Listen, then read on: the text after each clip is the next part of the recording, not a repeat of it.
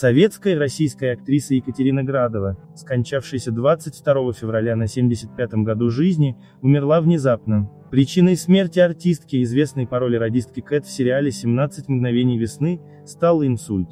Об этом сообщает МК со ссылкой на свой источник, близкий к семье заслуженная артистка РСФСР. Как уточняется, накануне Градова чувствовала себя вполне нормально, не болела, хотя имеет ряд хронических заболеваний, в том числе диабет, но беды ничто не предвещало. Поэтому дочь Градовой, актриса Мария Миронова, спокойно улетела отдохнуть на Мальдивы. Мироновой позвонили утром 22 февраля, сообщив, что ее матери неожиданно стало плохо и прибывшие на вызов врачи скорой диагностировали инсульт. Артистку доставили в больницу, где начали делать операцию, но сердце Градовой не выдержало. Похоронит Екатерину Градову на Троекуровском кладбище 24 февраля. Градова родилась 6 октября 1946 года в Москве в семье известного архитектора, профессора, член-корреспондента Академии архитектуры и альпиниста Георгия Градова, погибшего в 1984 при восхождении на Памир.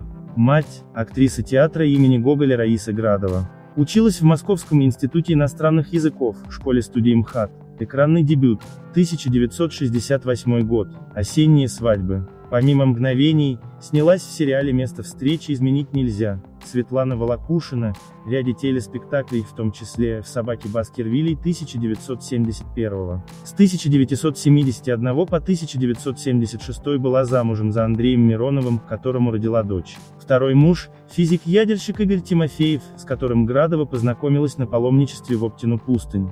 Адвокат Тимур Маршани рассказал о наследстве скончавшейся актрисы Екатерины Градовой. Известно, что при отсутствии завещания муж, дочь и приемный сын артистки становятся наследниками первой очереди и могут получить одну треть наследства в равных частях.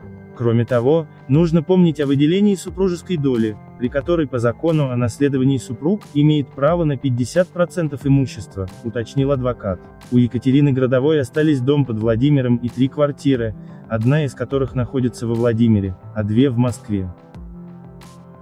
Подписавшись на канал, следите за выходом новых видео и оставайтесь всегда в курсе событий.